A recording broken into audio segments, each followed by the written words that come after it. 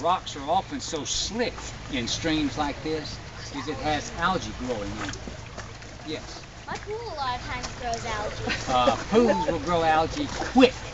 Yes. And it's not pleasant to swim in, usually. Most people don't like it. Yes.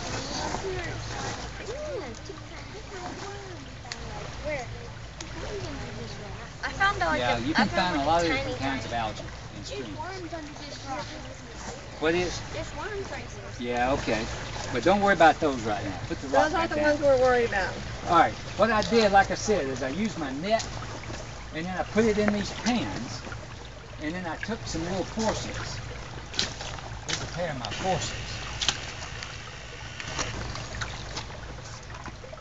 You would call them tweezers. And then I picked them out. Now, let me show you first. Just look in the middle container in here and tell me what that is. Salamander! All right. Now let me get him around so can y'all all crowd around where you see? That's a new See him? That's a new I was, he was down among the rocks. That's All a right. new. Just Y'all might want to try still. places Let me like throw it back here. See the one right in the middle? Ew, guys! Right in the middle. See the one in the middle? That's a little small salamander. Now, what kind of animal is the salamander? An amphibian. An amphibian, right. Yep. Did you find one? Everybody see? Guys, there's something in there. Yeah. There's something in there. Yeah, that's one of my worms. We need to stay out of them water Now, because of that bacteria. Let me get him back over.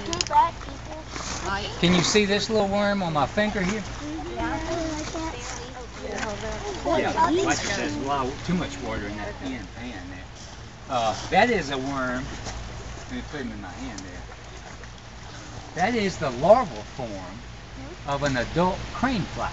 Have you ever seen around your house before what appears to be a giant mosquito? Yeah. And you think, oh, if he bites me, it's going to really sting. They don't bite. That's what my mom told They will eat them. They, they do not bite. Well, that's the larval form. Wow. And you know how a butterfly, a chrysalis, changes into an adult butterfly? Well, this is the larval form of the crane fly. And when he metamorphoses, changes into the adult, he flies off. There's this giant looking mosquito. That's one. Now, what we do. to tell you. Cliff, you got a question. Oh, I'm sorry. Yeah. People in the front can. Listen, question. when we, uh, I mean, what, how long does it take to get into flying? Okay. It, it varies, but so, it's going to take several weeks for it to. It lives like a worm How long does it in the water. How long does it live then? Uh, it varies on that too, but most of the time, no more than a year for, for the crane fly. And the changing to an adult doesn't take long. That only takes a few hours. But it lives as a larval form for a number of weeks and then changes into the adult. Now, what I did is I collected the worms and we grouped them into three groups. A group one animal that I'm going to show you is like a mayfly or a stonefly. They are very intolerant to pollution. They're very sensitive to pollution. They cannot take a lot of pollution. Then there's a group two group of animals, invertebrates, that are tolerant to a wide range of pollution. And then there's a group three that are very tolerant of high levels of pollution. So it wouldn't bother them if this stream were highly polluted. So what we look for is how many group ones we have. If we have a lot of group ones and then twos, it's not polluted. If we have mostly group two and group three, it tells us we've got a polluted stream. So you're fixing to help me bioassess or determine what the quality of this stream is based on the animal community, the invertebrate community. Now, this is again hard uh, to show everybody at one time. Uh-uh, But if I could get, yeah, y'all just stay put, and I'll go around. But I only have one type of mayfly in the group one animal. Think really small, right? In this They're really tiny. See, these are little tiny mayflies, but they're live critters. Oh my And then, y'all be careful. Easy, we're gonna give everybody a chance. I'm gonna move it around so everybody can see. And then I've got several of those crane fly worms in the middle one, along with some caddis flies. So we got two or three. And then some black flies. Well, that's a vertebrate animal, so we don't classify them group one, two, or three. And then look in the group threes. I've got a lot of what we call bloodworms, and then one long aquatic earthworm. You've got dug up earthworms before we fish with. Well, this is the aquatic version. Now, let me get back here in the back and show y'all. And we've got two or three snails in there. All right. I'm coming back. I just don't want to spill any on you. All right. Can you see? Here's I've got a couple of little small mayflies. So we've got one group one animal. The group two animals, we've got several of. them. There's the crane fly larvae. There's a caddis fly. That one right there. Yeah, my one of my red worms got over there. He's supposed to be over in group three. Is there a caddis? Yes, that's a caddis fly jumping around right there, swimming around.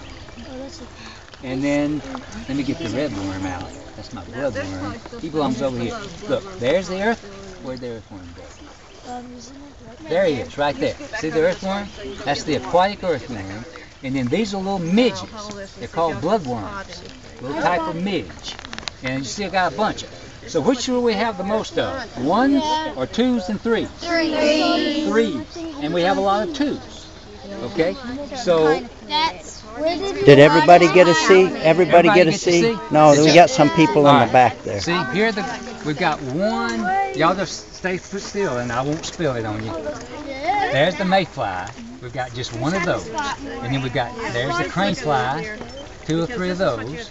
There's a caddis fly, Those, those, he's got and then we've got a bunch of the bloodworms, and then there's the aquatic earthworm right there. See? Orange stripe? So don't touch anything. Orange? So you found this one under it. the the orange stripe yeah. That's just a different type. And then there are a couple of snails. See the snail? See the snail? I've had those snails in my fish. Yeah. Right. These are very tolerant to pollution here.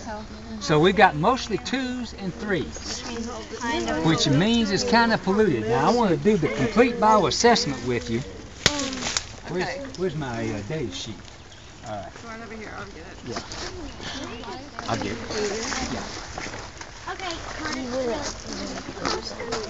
Now in a few minutes I'll put all those back in there in the stream because I don't want to kill them. Oh, you got another question, Cliff? Yeah. Go ahead.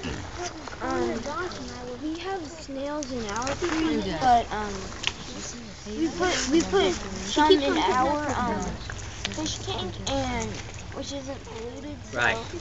And they're still living in there. So Yeah, they, they'll, they like it. See, they get they snails will eat a lot of the algae off of the inside of your tank, so they're very good about that. kind of fish that Yeah.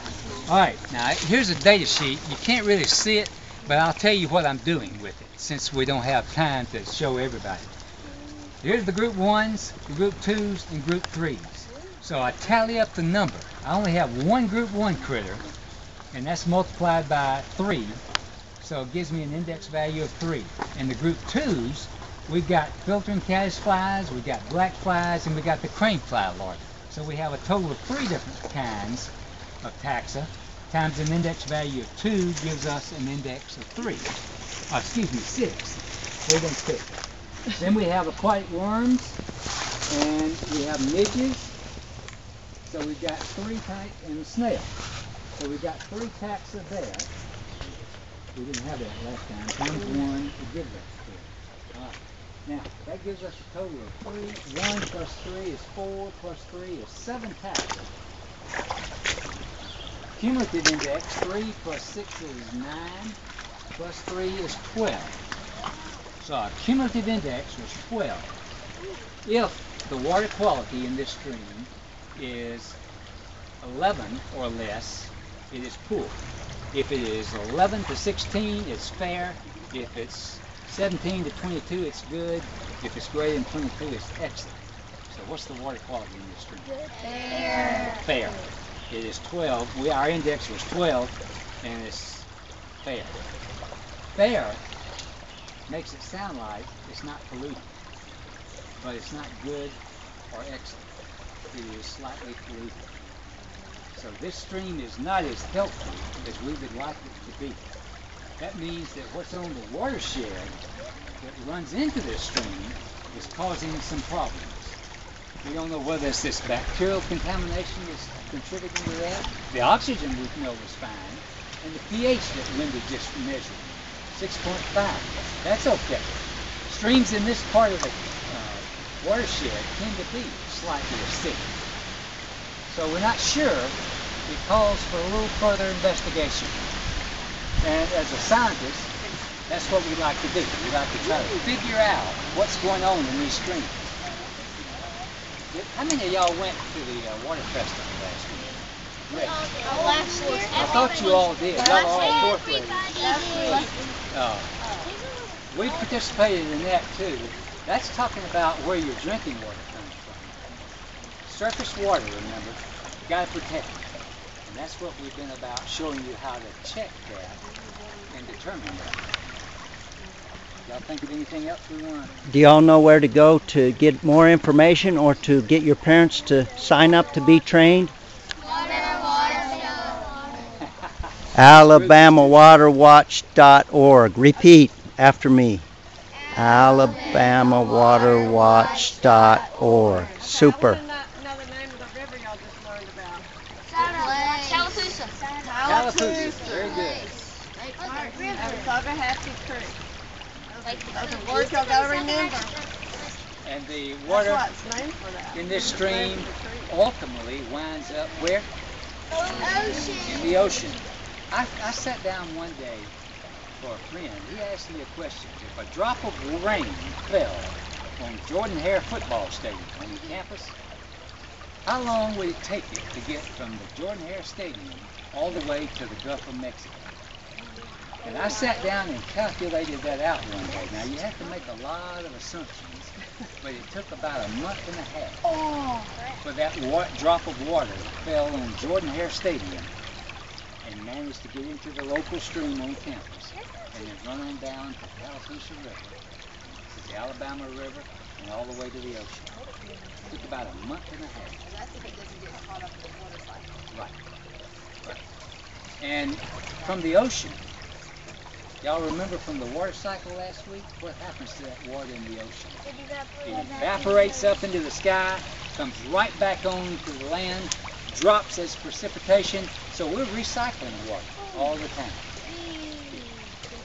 Very good. Y'all are great question askers. Y'all keep studying. You've got a good teacher.